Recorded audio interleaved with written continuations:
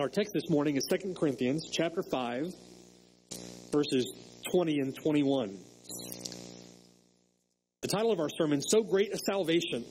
So Great a Salvation. We're in part two looking at this brief text, but what a glorious text of Scripture. So Great a Salvation. 2 Corinthians chapter 5, verses 20 and 21.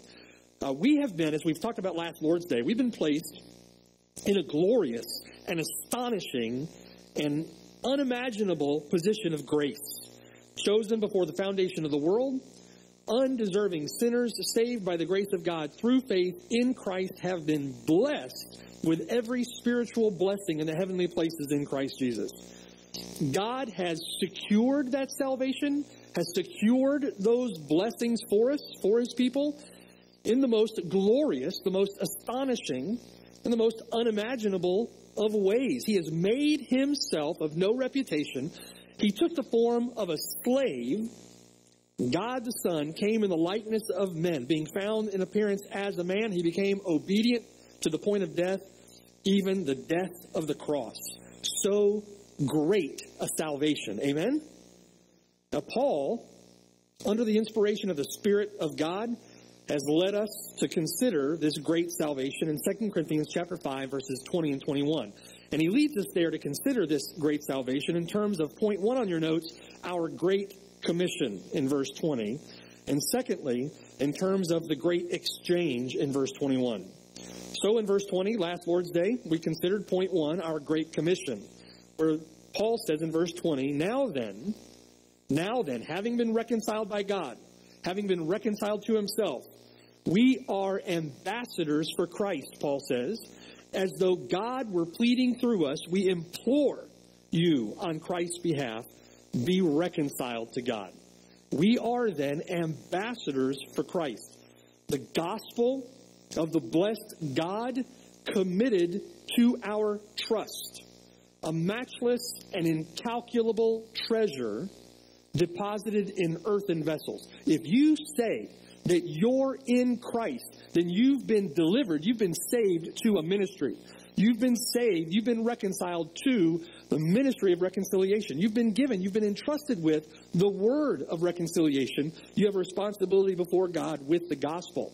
Paul says in Romans 1 that I've been made a debtor. I'm a debtor to both Jews and Greeks with the gospel. Now, considering our great commission as ambassadors for Christ, we looked last week through verse 20 at the reason for our commission, our role in that commission, and our responsibility to it. One, the reason that we are ambassadors comes from verses 18 and 19. God has reconciled us to himself, and God, in reconciling us to himself, has committed to us the word of reconciliation. Secondly, our role as ambassadors involves us speaking his words. We don't get to invent the message. We don't get to corrupt the message, pervert the message, change the message. We don't get to alter the message. Our role as his ambassadors involves us speaking his words, proclaiming his gospel, representing him in what is here a foreign land, the kingdom of darkness. And our responsibility to him, our Lord and Savior. Thirdly, we are ambassadors for Christ. We implore people on his behalf our responsibility is to him. Now, as his ambassadors, to remind us from verse 20, we have to be faithful to concern ourselves with his words, the content of his message, and we have to concern ourselves to be faithful with how that message is to be proclaimed. And so then, considered from verse 20, we looked at both the manner of an ambassador and the message of an ambassador. For the sake of Christ, as though God were pleading, urging, earnestly striving through us, we implore, we beg sinners to turn in repentance and faith and be reconciled to God. God has reconciled us to himself through Jesus Christ and has given us the ministry, the word of reconciliation. Now then, we are ambassadors for Christ. That is a great commission, a great commission. Next, being the recipients of such glorious grace themselves, and then blessed to such lofty heights as to be called an ambassador for Christ, you would expect God's people to have a glorious message to proclaim, right? As would be expected, they have a glorious message to preach. Secondly, the great exchange. The great exchange. This is the glorious means through which God reconciles us to himself and then commits to us the ministry of reconciliation. We implore you on Christ's behalf, be reconciled to God. Verse 21. For he made him who knew no sin to be sin for us, that we might become the righteousness of God in him. Verse 21, Paul explains what is the great exchange. A great exchange. In salvation, there is a gracious exchange, a merciful exchange that takes place between the sinless Son of God and sinful, wretched man. Through Adam's fall into sin in the garden, sin entered the world, Paul says, and death through sin. Paul says in Romans chapter 6, verse 12, that then death spreads to all men because all men sin. Do you see that? David says, the wicked, and that includes everyone outside of Christ. If you have not turned from your sin to put faith and trust in Christ, the Bible calls you wicked. Outside of Christ, the wicked, the Bible says, are estranged from the womb. At your birth, you are estranged from God, tainted by original sin, sinful by nature in Adam. David says, The wicked are estranged from the womb. Those who speak lies go astray from their birth. The Bible would characterize you as a liar. Do we accept that diagnosis of our condition? If you're sitting here this morning and already in your mind you're arguing over the fact that you are a sinner in need of grace, you don't understand what the Bible says about our condition. You don't understand your sin. The Bible says that we are wicked, estranged from the womb. The thoughts and intents of men's hearts only evil continually apart from Christ. There is no one, the Bible says, who does not sin. We have all turned, everyone to his own way. You and I, we together, have become unprofitable. That is the damning diagnosis of men apart from the salvation of God in Christ. The tragic and inevitable end of man is death. The tragic, inevitable, inexorable destiny of man is hell, torment forever apart from Christ, apart from God. The Bible says, cursed is everyone who does not continue in all things which are written in the book of the law to do them. In other words, when you break God's law, to break one point in God's law is to break it all, is to be a lawbreaker. And you are cursed by the law, condemned to die by the law of God. We, as sinners, by nature children of wrath, we face the effects of the curse in this life, which then ends in death. We face the torments of the curse in hell in the next life. Torments which never end. It is the perfect justice that the holy law of God demands for those who sin against our holy God. It's the question of the ages, right? What must sinful man do to be right with a holy God? How can we who have sinned and rebelled against him be made right with him? How can we go to heaven when we die? Right? How can we be there with him when we're sinful?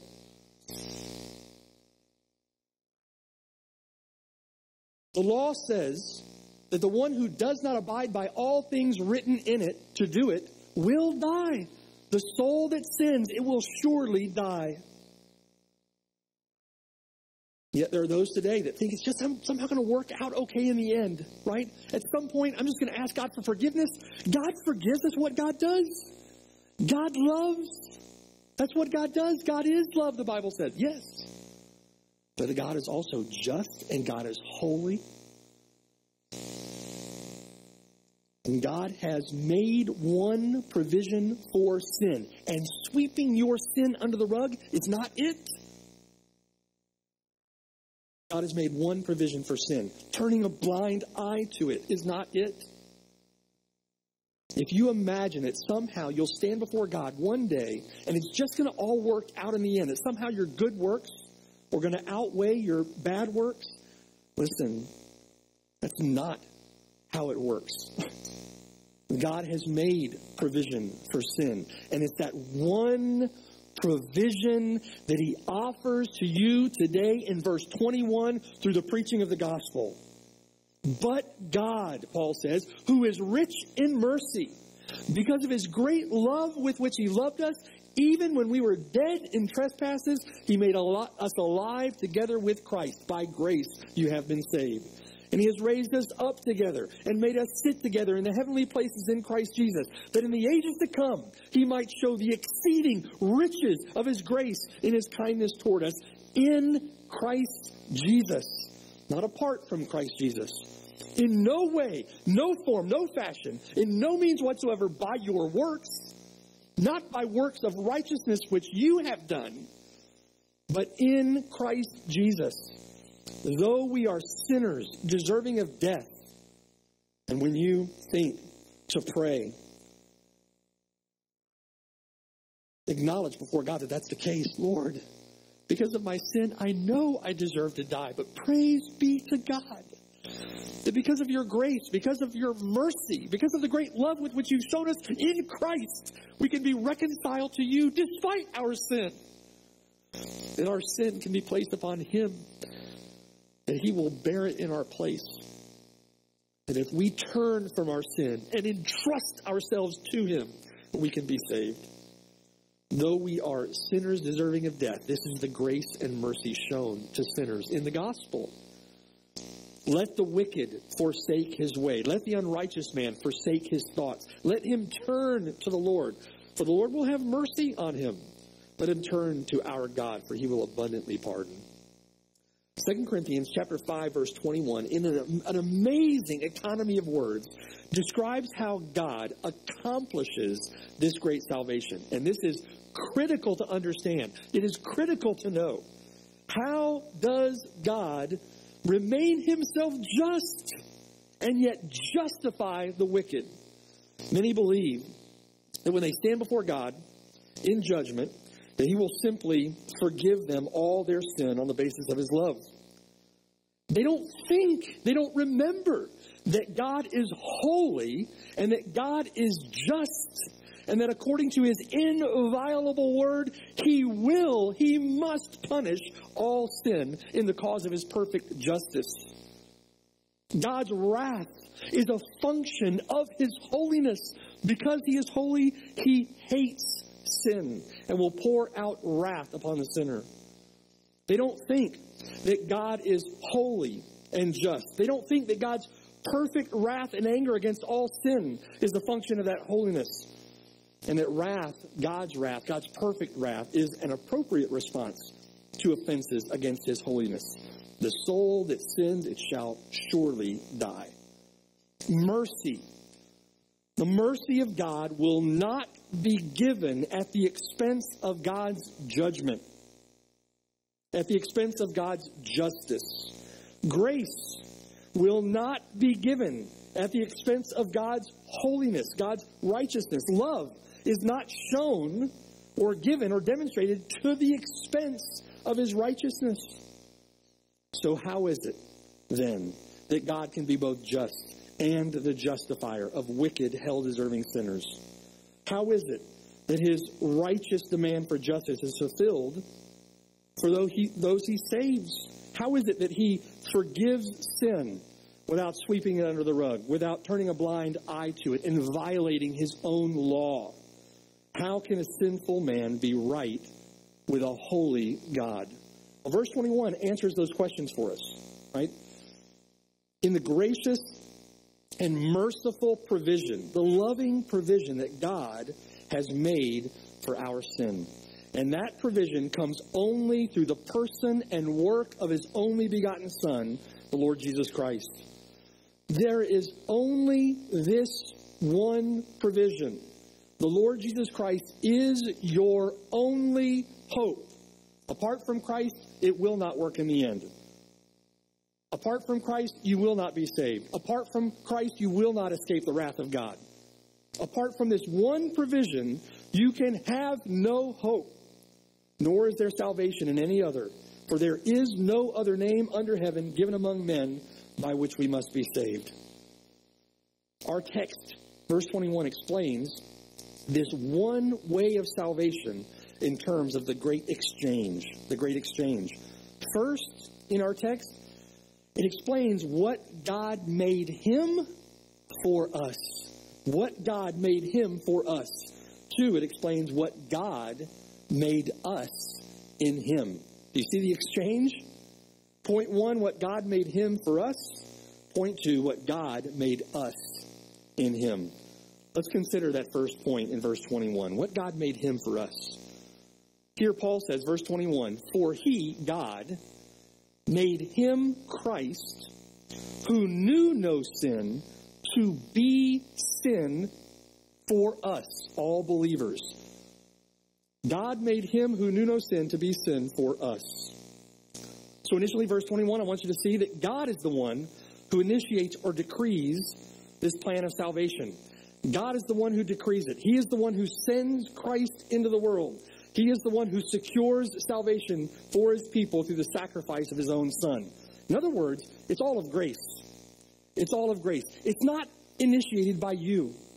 It's not initiated by your work. It's not initiated by you seeking after God. This was initiated by God. When does the Bible say that that took place? Before the foundation of the world. From eternity past. In other words, all of grace, it is impossible for sinners to reconcile themselves to God by their own effort. It is impossible.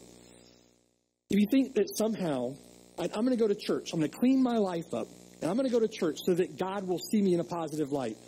Outside of Christ, there is no hope of God seeing you in a positive light. You are filthy. The Bible says your righteousnesses are as filthy rags. If your so called good works are as filthy rags, then what does that mean that your sin is to God? Apart from His one provision, you cannot cleanse yourself. You cannot clean up your act. God has to do it for you. The only solvent that will cleanse your sin is the blood of Christ.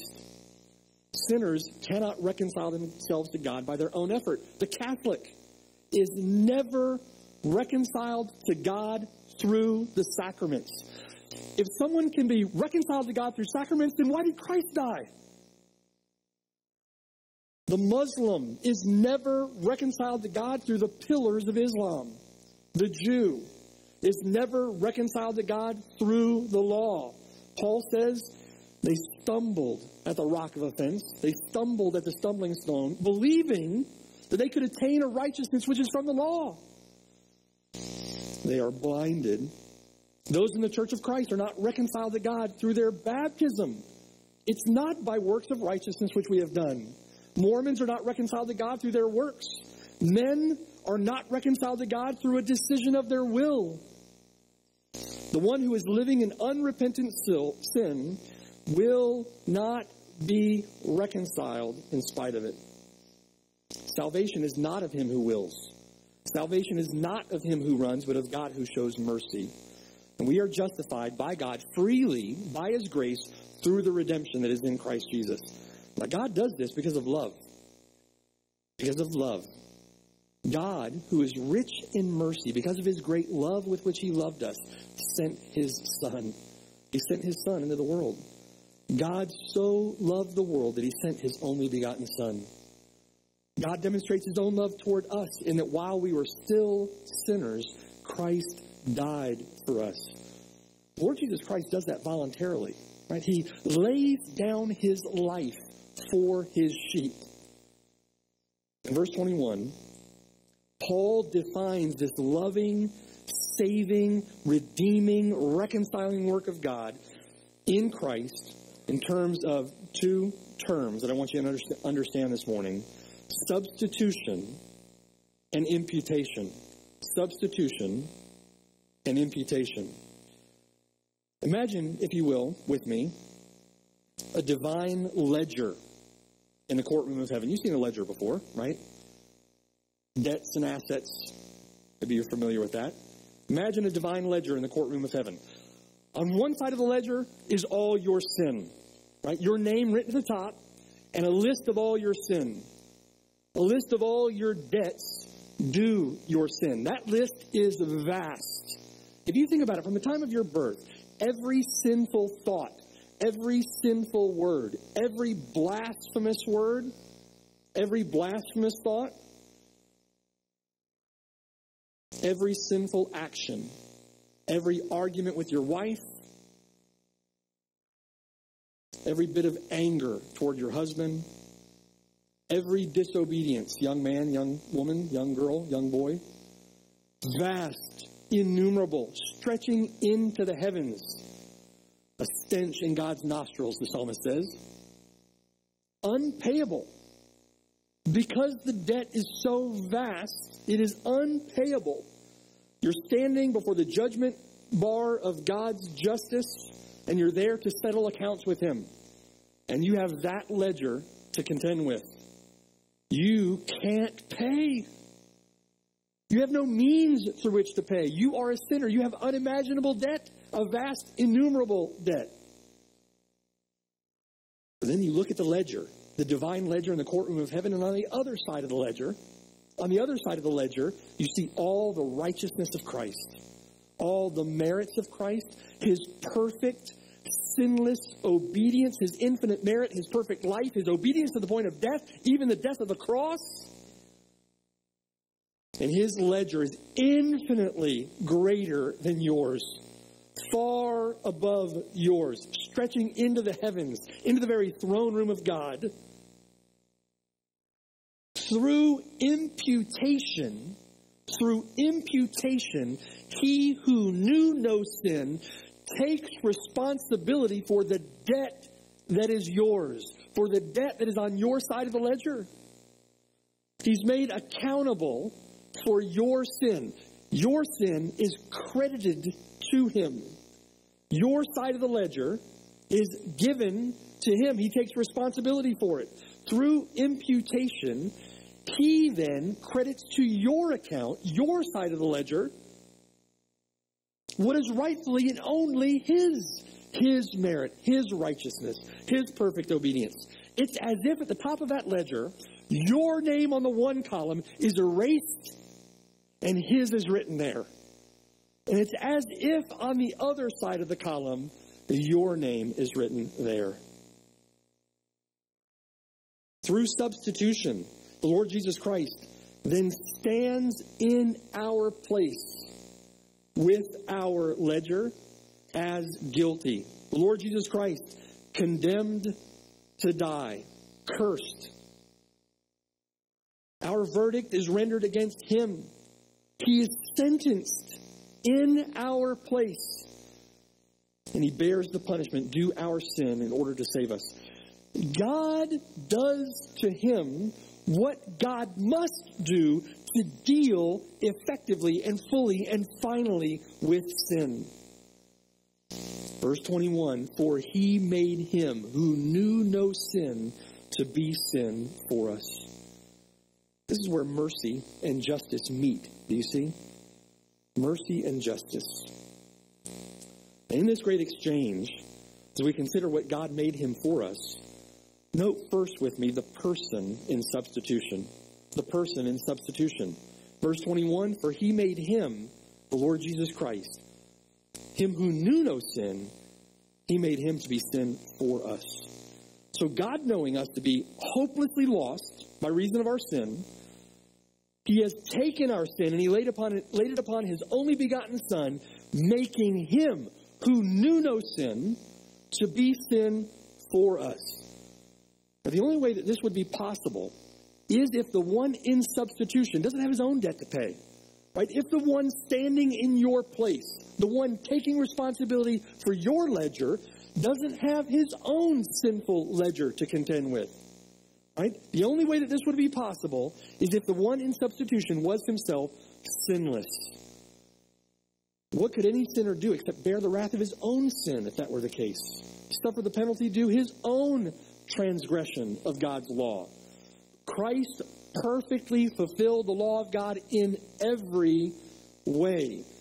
And he could stand as the substitute for his people because he had no sin of his own. Can you imagine Christ, right from a child growing up? No sinful thought, no sinful word, no sinful deed, no sinful actions. But not only were there no sins of commission, there were no sins of omission. When the Bible commands us to love the Lord our God with all our heart, all our soul, all our mind, all our strength, we continuously fail to, to obey that command, the greatest of commandments. When we're commanded to love our neighbor as ourselves, we continuously fail to obey that command, not the Lord Jesus Christ. In every way imaginable, loved the Lord his God with all his heart, soul, mind, and strength, and his neighbor as himself. No sin. Christ is described here in verse 21 as literally the one not knowing sin, having no acquaintance at all with it, not even a shadow, not a hint or a trace of sin. Spurgeon said this of us If we do what is right in itself, still we usually mar our work upon the wheel either in the motive or in the manner of doing it, or by the self satisfaction with which we view it when it's done. We come short of the glory of God in some respect or other. We forget to do what we ought to do, or doing it, we are guilty of lukewarmness, guilty of self reliance, unbelief, or some other grievous error. It was not so with our divine Redeemer. You cannot say there was any feature deficient in his perfect beauty. Lord Jesus Christ, perfect. The sacrificial Lamb of God without spot or blemish who takes away the sin of the world. He was the only one who could. The only one who could. Additionally, now, the only way that this substitution would be possible is if the one in substitution was himself flesh and blood like you and I. Paul said in Galatians chapter 4 verse 4, when the fullness of the time had come, God sent forth his son, born of a woman, born under the law, for what purpose? To redeem those who were under the law, that we might receive the adoption as sons. Hebrews chapter 2, verse 14.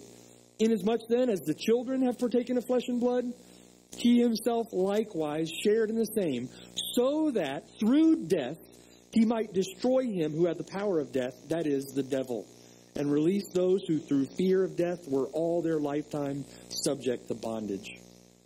Again in verse 17, he says, In all things, Jesus Christ had to be made like his brethren, that he might be a merciful and faithful high priest in things pertaining to God, in order to make propitiation for the sins of his people. Tempted in all ways as we are, and yet without sin. So by incarnation, then, by the taking on of flesh, God himself would be manifested. The eternal word, as John says, became flesh and tabernacled among us. He became a partaker of our humanity, fully God, fully man, bone of our bone, flesh of our flesh. However, born of a virgin, without the stain of original sin. There are many who challenge the virgin birth. Apart from the virgin birth, birth, there isn't a sinless Savior born of a virgin, without the stain of original sin, and living an entirely sinless life, Lord Jesus Christ sent into the world to save sinners. He had to be born under the law in order to fulfill the law in my place, in your place if you're in Christ. From cradle to cross, not one stumble into sin, not one violation of God's holy law. He secured the very righteousness that you and I must have to be reconciled to God. And no other righteousness will do. He alone could ask of the Pharisees, which of you convicts me of sin? They were watching him, right? Meticulously watching him. Which of you convicts me of sin? They lined up false witnesses at his trial, bribed him, and could not establish a viable charge against him. Pilate grappled at his trial, the kangaroo court, and he said, I find no fault in the man. The centurion at his crucifixion, surely this man was innocent. And when, by the grace of God, that you and I come to our senses in the far country, when we become sickened with where we are, when we become disgusted with the pig slop of this wicked world that we're eating and sucking down, when you become sickened with your own rebellion, you consider the blessings at home with the Father, and you turn to Him, it will be the white robe of Christ's own righteousness, woven thread upon thread with his perfect obedience that the Lord will drape around your shoulders when you come. All praise, honor, and glory to the person in substitution. Amen. The Lord Jesus Christ, our perfect substitute. Note next with me then, verse 21, the plan of substitution. The plan of substitution. For he made him, Christ, the person in substitution, he made him who knew no sin to be sin for us. The plan, the decree from eternity past would be that Jesus Christ, God the Son, would be made sin for us. Now, that statement doesn't mean that Christ was made a sinner. Christ didn't become a sinner. His sinlessness is well established, unquestionably established in the Bible. So, what does it mean then that God the Father, in order to save a people to himself, would make him sin for us? What it means is that for all those who would believe in him, he was made as if he had committed that sin. The sins of God's people were imputed, there's that word again, right? Credited to him. And he was legally declared to be guilty in our place. Not only declared to be guilty, he was then treated as guilty. So identified with our sin that the words literally convey that he was made sin for us. Horatius Bonar said, as if no words could fully express the closeness of his connection with our transgressions. You can sense the reality of this identification, this plan of substitution from Isaiah 53. Turn to Isaiah 53 with me. Isaiah 53. He became identified with our sin, our sins imputed to him. He was legally, forensically declared to be guilty on our behalf. That's for those that put their faith and trust in the Lord Jesus Christ and turn from their sin. Isaiah chapter 53, look beginning at verse 4. Verse 4.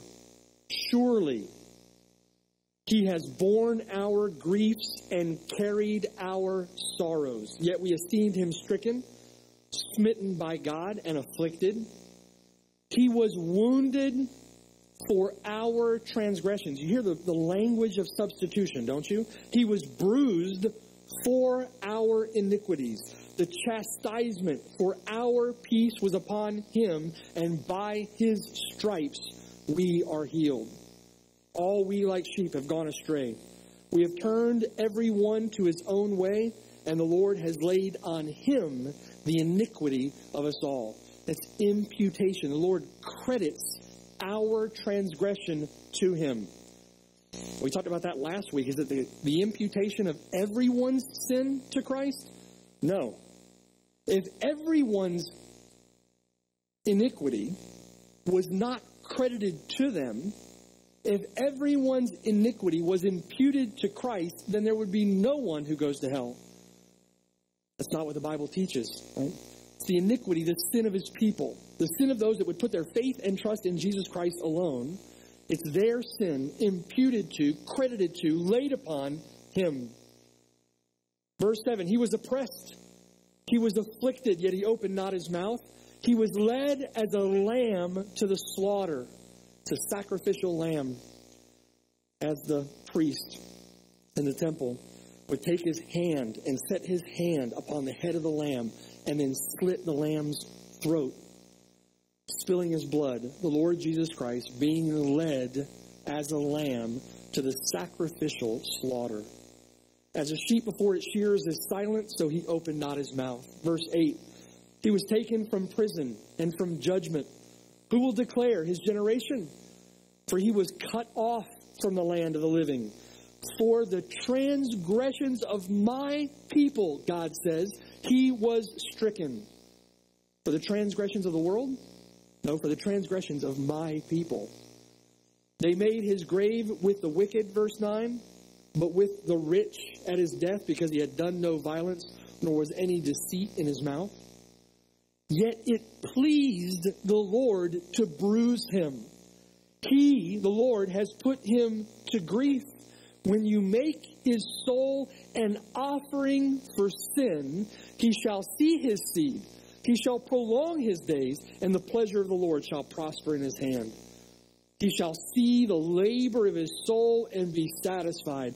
By his knowledge, my righteous servant shall justify many, for he shall bear their iniquities. It's the language of imputation, a language of substitution. Therefore, verse 12, I will divide him a portion with the great, and he shall divide the spoil with the strong, because he poured out his soul unto death. He was numbered with the transgressors, and he bore the sin of many and made intercession for the transgressors. Transgressors. He was made Noah's drunkenness.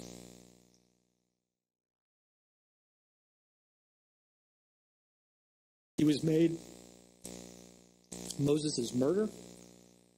He was made Rahab's harlotry. He was made David's adultery. He was made Peter's denial. He was made Paul's persecution. He was made your denial. He was made your neglect. He was made all your sinful words, all your sinful thoughts. He was made all your sinful actions. He was made your polluted emotions. He was made your spoiled, corrupt affections. He was made your wicked desires, your fallen feelings. He was made your corrupt will. He was made your defiled conscience. He was made your defiled, depraved intellect. He was made your selfish dreams. He was made your corrupted worldview. The sinful energy that you consume on your own lust, He was made. Your wasted time, He was made. Your prideful ambition, your worldly goals your neglect of Him, the sins of your tongue, the sins of your mind, the sins of your members, all this He bears upon Himself. Surely He has borne our griefs and carried our sorrows, wounded for our transgressions, bruised for our iniquity. He takes it upon himself such that David would praise God in Psalm 32, saying, Blessed is he whose transgression is forgiven. You see, your sin, my sin, is not swept under the rug. Behold the one in substitution. Behold him who stood in the place of sinners. If you claim the name of Christ, then behold him who stood in your place to bear your sin. Blessed is he who, whose transgression is forgiven, whose sin is covered. Blessed is the man to whom the Lord does not impute iniquity, and in whose spirit there is no deceit. Isaiah would worship God, saying, You have cast all my sins behind your back. The prophet Micah would say, Who is a God like you? Who is a God like you, pardoning iniquity and passing over the transgression of the remnant of his heritage? You cast all our sins into the depths of the sea. The Bible says that our sins are as if hidden behind a thick cloud, that God remembers them no more. Well, how is it that God says he doesn't remember them? How is it that they're cast into the sea? How is it that our sins are cast behind God's back? They're cast behind God's back because they were first cast upon his son. And his son in your place, his son in my place. Our sins cast upon him. Apart from this plan of, of substitution, God would be found to be unjust to simply forget our sin, would violate his holy character, violate his holy law. It's the same thing as the unjust judge that we all know and understand, right? The unjust judge that lets the criminal go free. Proverbs chapter 17, verse 15. He who justifies the wicked and he who condemns the just, both of them alike are an abomination to the Lord. Listen to that again. He who justifies the wicked, he who condemns the just, in other words, an unjust judge. He who justifies the wicked, he who condemns the just, both of them alike are an abomination to the Lord. How is it that God upholds his justice? How is it that God upholds his righteousness in justifying wicked sinners like you and me? How is it? He does it through representation. The Lord Jesus Christ, my substitute. The Lord Jesus Christ, my righteousness. He does it through imputation. He does it through a deliverance, a salvation that comes from outside of myself. Christ, my substitute. Christ, my righteousness. The benefits and blessings of his work applied to me through faith. His work applied to those who savingly believe. Consider that with me for a moment, right?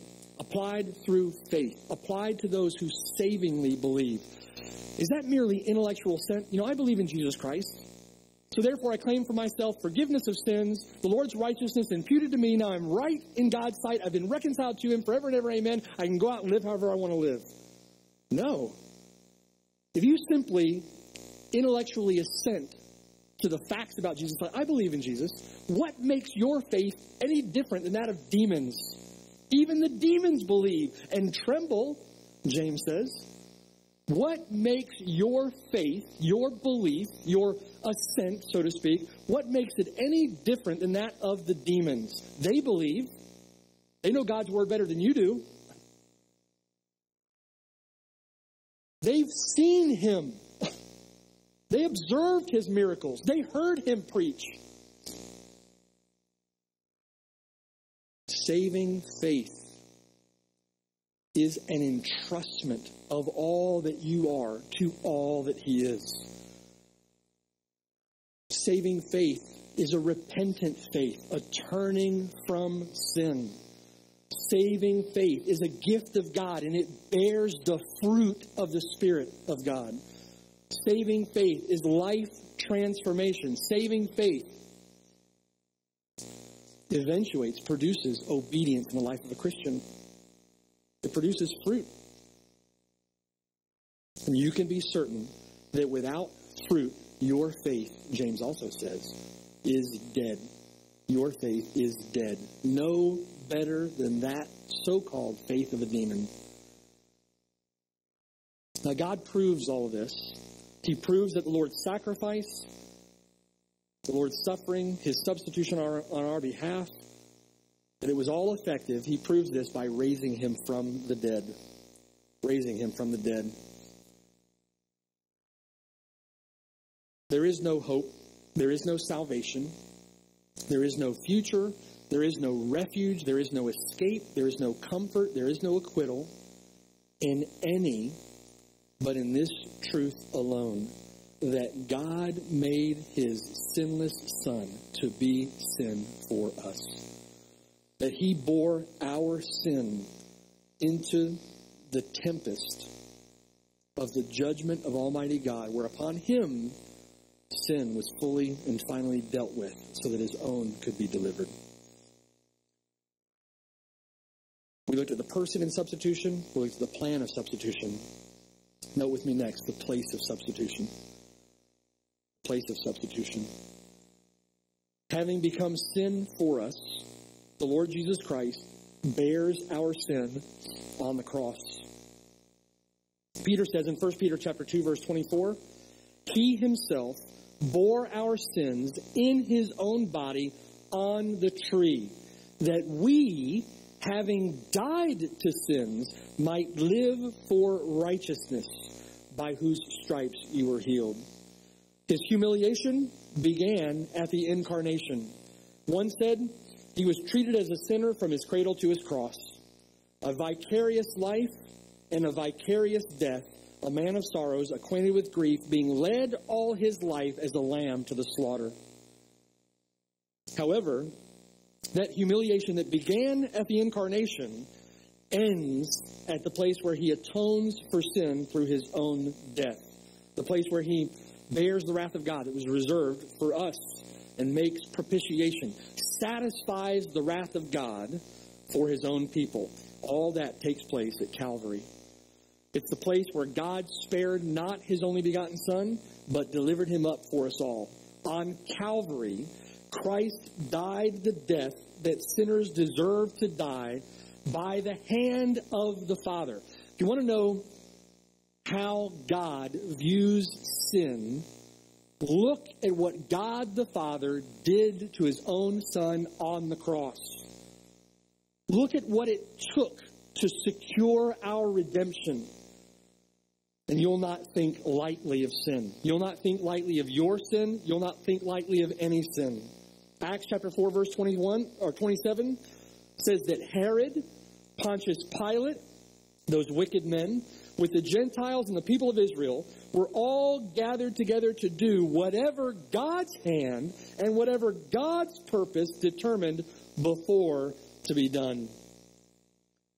The place of substitution is where Christ, as Hebrew 2 puts it, for the suffering of death, crowned with glory and honor, that he, by the grace of God, might taste death for everyone.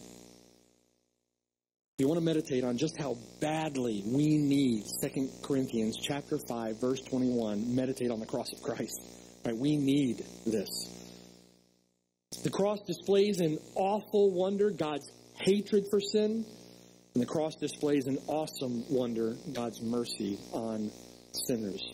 The cup of wrath reserved for sinners poured out on Christ, our substitute, at the place of substitution at the cross. Psalm 75, verse 7, the, the psalmist says this God is the judge. He puts down one and he exalts another. For in the hand of the Lord there is a cup, and the wine is red, it is fully mixed, and he pours it out.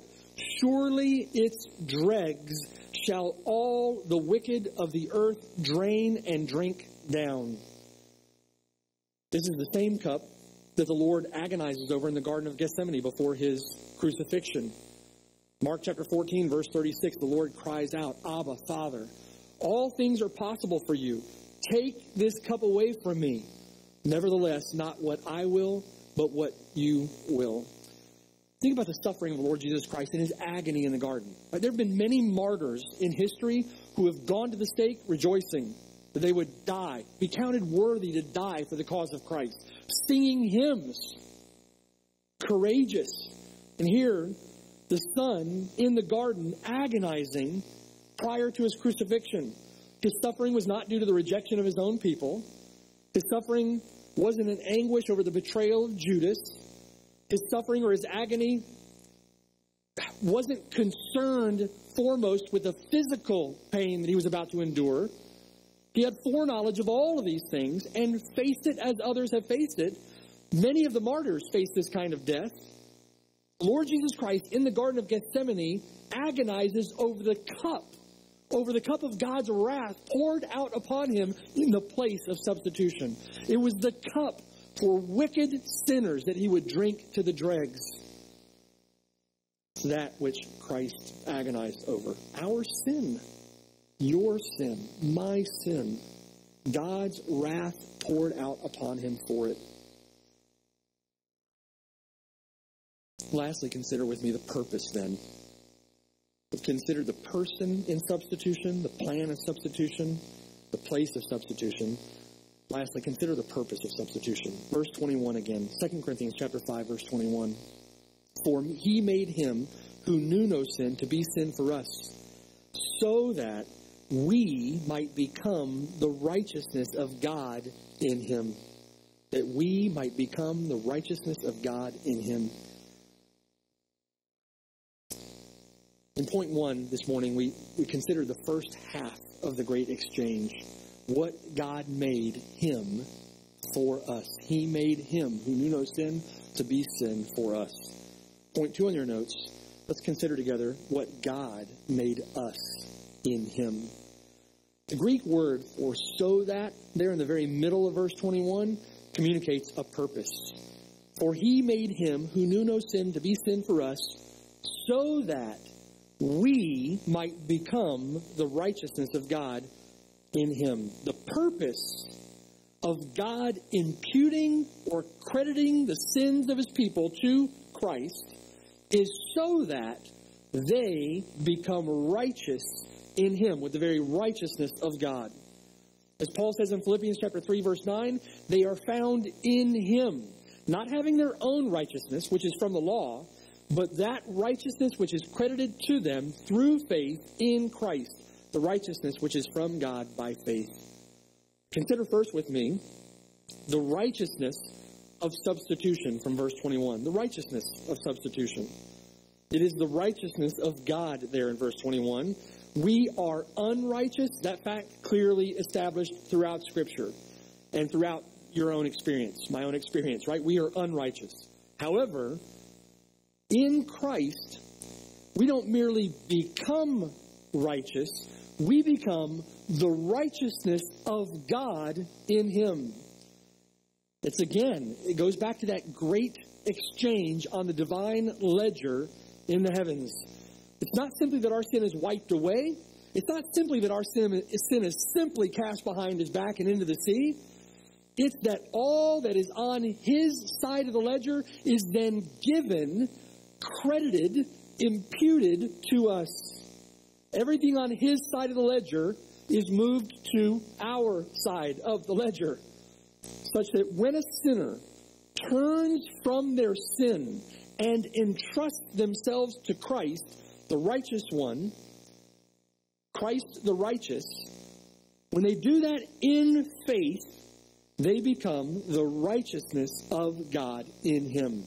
We are found in him, as Paul said, recognized as one with him in righteousness in the sight of God, co heirs now with Christ. As he is, John says, so are we in this world. This standing, right, that astonishing position is won for us through his substitution, through his perfect life, through his atoning death. When we place our faith in Christ, we are legally declared to be right with God. And He treated us as right with Him, even when we sin. Declared to be right with God, it's not if you sin, but when you sin, right? When you sin, you have an advocate with the Father, Jesus Christ the righteous. And if you confess your sins, He is faithful and just to forgive you of your sin and to cleanse you from your iniquity. even when we sin. In Christ, we are justified before God.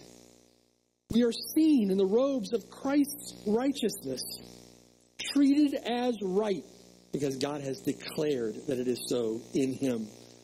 And it is God's own righteousness, His own righteousness, His own perfect righteousness. You can see God's commitment to His own righteousness, right, when you see the death of His Son on the cross. When you look at the cross, you can see God's commitment to his own righteousness, his own holiness. And it's that holiness, that righteousness, that is credited to his people in Christ. And God is holy. But wrath and mercy meet in Christ our righteousness. Because of substitution, because of imputation, we are treated as, seen as righteous in a forensic sense, in a legal sense, as if we had lived the perfect life that Christ lived. We are complete in Him, accepted in the Beloved. And all that is possible because He took our sin upon Himself as if He had lived our sin, as if He had committed our life of sin. And in Him we are justified. Isaiah 61:10. I will greatly rejoice in the Lord. My soul shall be joyful in my God, for he has clothed me with the garments of salvation. He has covered me with the robe of righteousness. As a bridegroom decks himself with ornaments, and as a bride adorns herself with her jewels. You can see, can't you, how God's righteousness, the righteousness that is won for his people in Christ, condemns, repudiates, rebukes, reproves every attempt to be justified by our works. You think to yourself, right? I'm going to do this thing over here and I'm going to earn favor with God. That is an abomination in the sight of God. It's something you would do would earn favor with God when the blood of his own sin, when the blood of his own son is what purchased the righteousness that we needed.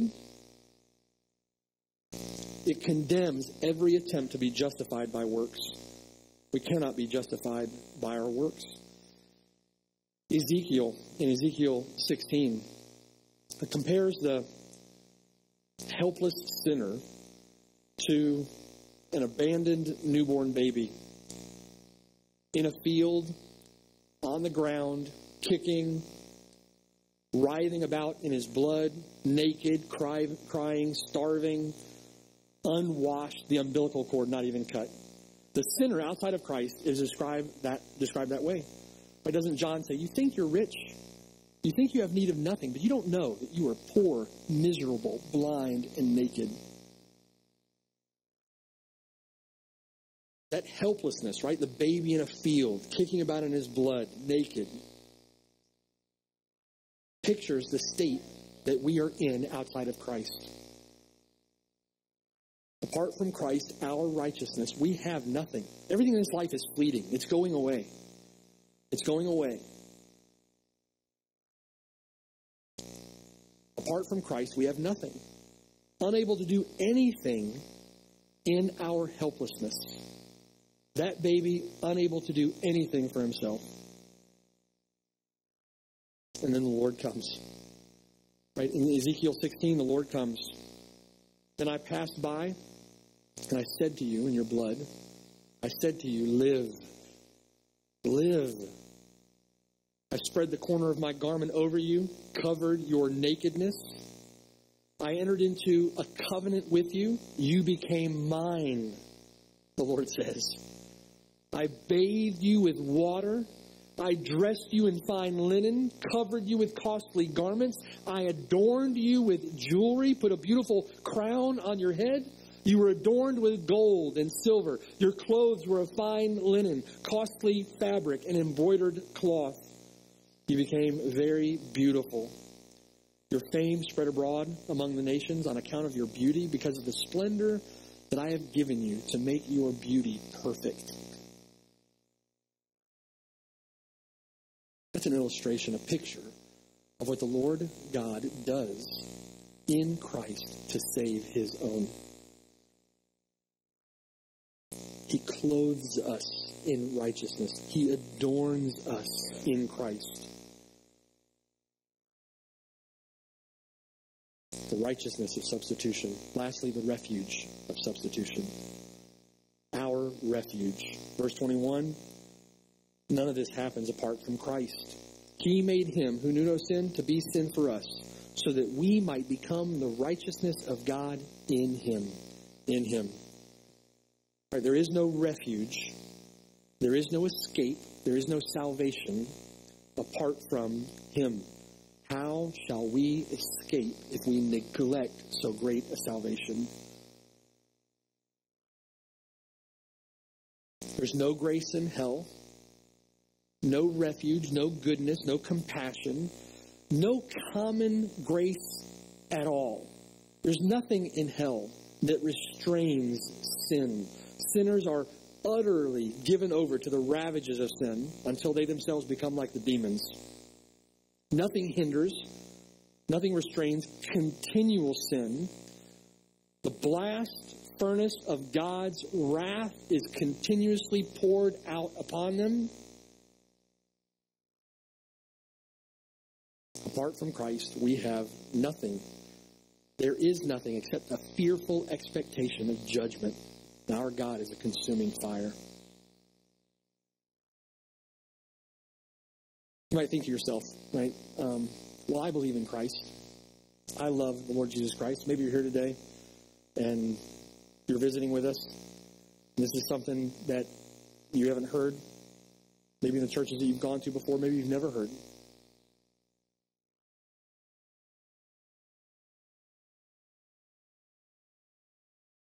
Don't deceive yourself. Jesus tells Nicodemus, unless you are born again, you cannot see the kingdom of God. You may say you love Christ. What is the fruit of that profession? Some people say, I love Christ, I love His Word. They never read His Word. One old preacher said you could write the word damnation in the dust of their Bible. You say you love Christ, you have faith in Christ, but you bear no fruit. You don't obey Him. You don't live as an ambassador of Christ. You don't preach the gospel. You don't obey His commandments. You lie. You cheat, you steal, you commit adultery. The Lord says to look at someone with lust in your heart is to commit adultery with them in your heart. To be angry without a just cause is murder, the seed of murder in the heart. You've broken God's laws, and you continue to break God's laws. And the fact that, considering today what the Lord Jesus Christ has done, you can break those laws with impunity without burying your head in your hands and weeping over the offense that that is to God bears testimony of the depravity of your own heart. There is no refuge apart from Him.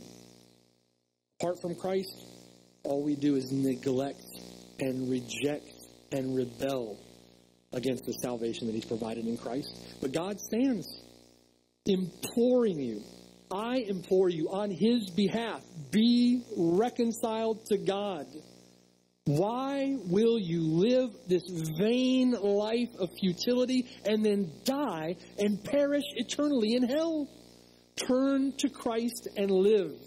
Turn from your sin. Put your faith and trust in Him. Follow Him as Lord. Submit to Him as Lord. The Lord Jesus Christ says, The one who loves me that's the one who keeps my commandments. Why do you call me Lord and don't do the things that I say? The one who says, I know him, but does not keep his commandments, the Bible says is a liar, and the truth is not in him. But we have glorious refuge in Christ. Flee to him. Flee the wrath to come. What a treasure, right? What a treasure. For he made him who knew no sin to be sin for us, so that we, sinners, might become the righteousness of God in him. Paul says back in 2 Corinthians chapter 5 that the fear of God compels him. We must all appear before the judgment seat of Christ Therefore, knowing the terror of the Lord, we persuade men. Paul says that it's Christ's love for him, displayed in his substitution, that compels him. Now then, we are ambassadors. Because of these things, the response of the Christian is to say, I no longer live for myself, but for him who died for me and rose again, the one who died in my place. All praise, honor, and glory to the one who stands in the place of sinners. Amen. All praise, honor, and glory to the one who stands as our righteousness.